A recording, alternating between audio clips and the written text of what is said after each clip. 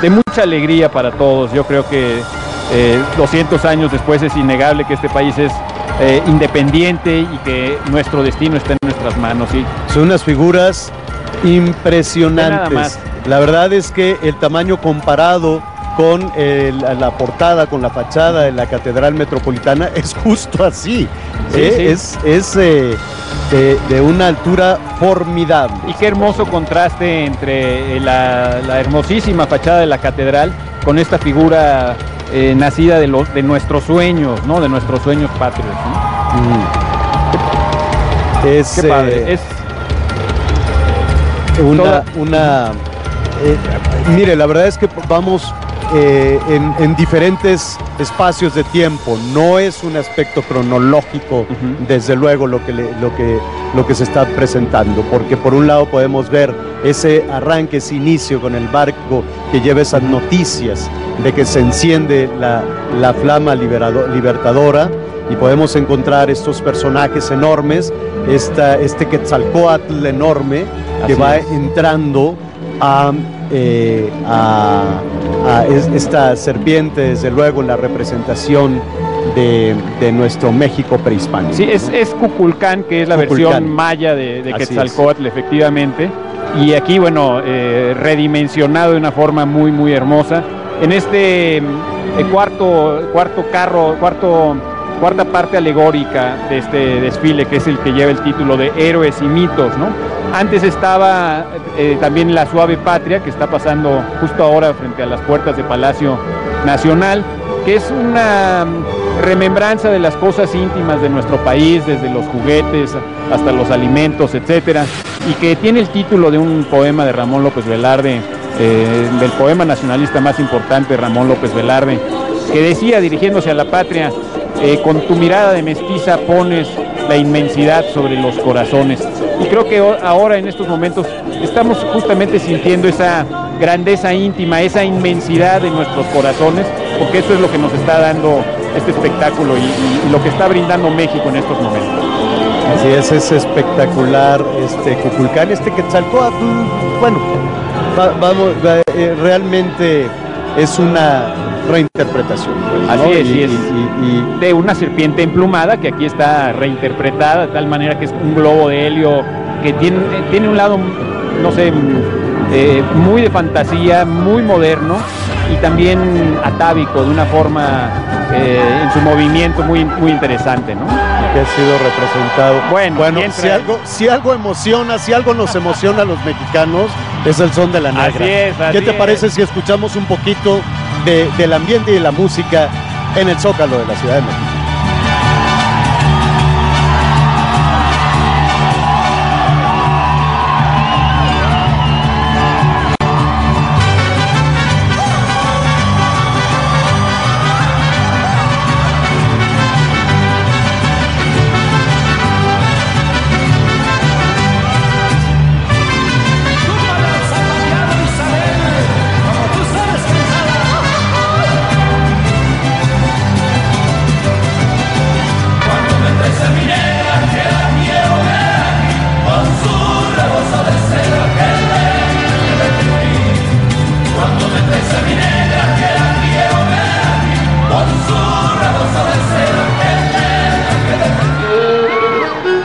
Muy emocionante la verdad, muy muy emocionante y así avanza, avanza parte, no hay que hacer un señalamiento, no viene en el mismo orden en el que recorrió eh, desde luego Paseo de la Reforma, las principales avenidas, pero se acerca. Lo importante es que está aquí en el Zócalo y otra época importante en la, en la historia de nuestro país y que viene en esta reinterpretación de la colonia y del barroco.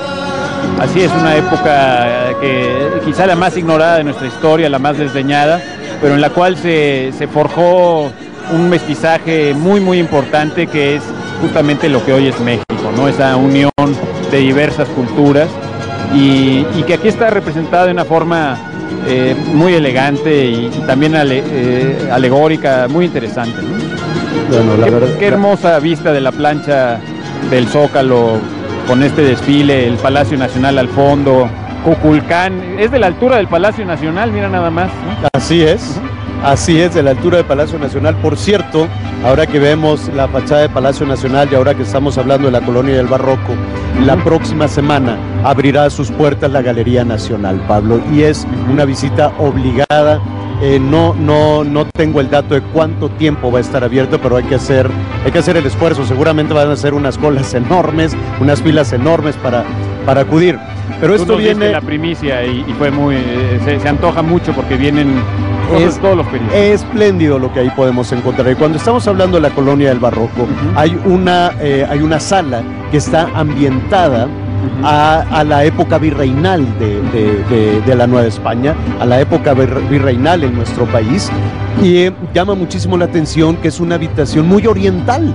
De pronto dices, bueno, ¿y de cuándo acá tan oriental eh, en, la época virreinal? Y claro, el comercio que tenía la Nueva España era, era una época muy generosa, una época de un gran comercio, sobre todo con la nao que venía de Filipinas. La famosa nao de China, que en realidad sí venía de Filipinas, pero que traía mercadería del oriente, mucha de mercadería china, efectivamente, ¿no? Y entonces esa representación de cómo era una habitación en el virreinato quedó muy claro. Se consiguieron algunos muebles, allá y por ahí alguna recámara, pero curiosamente, eh, digamos que, que, lo, que lo chic en ese momento del virreinato era tener una decoración oriental. Las chinerías.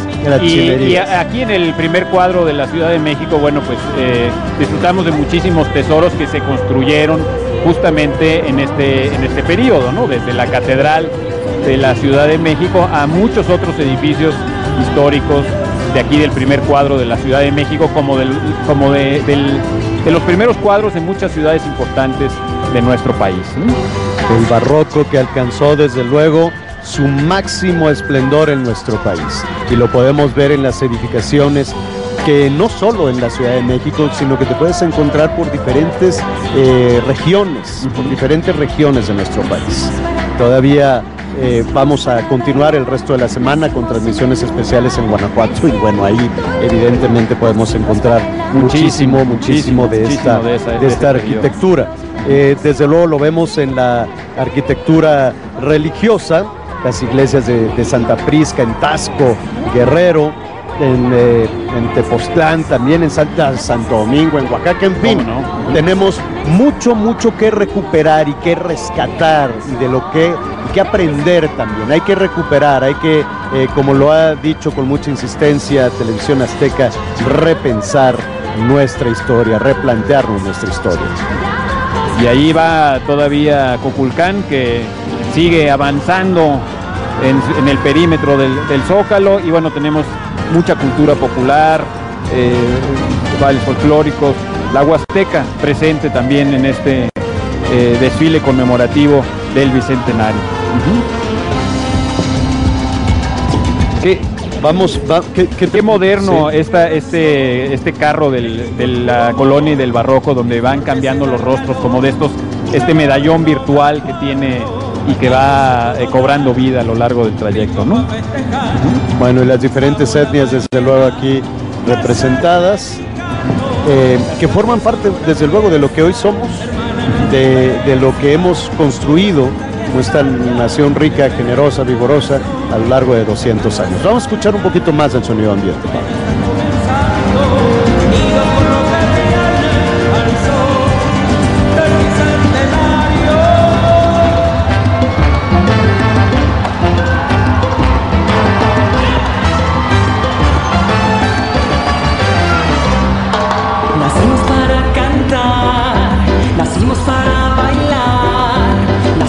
México a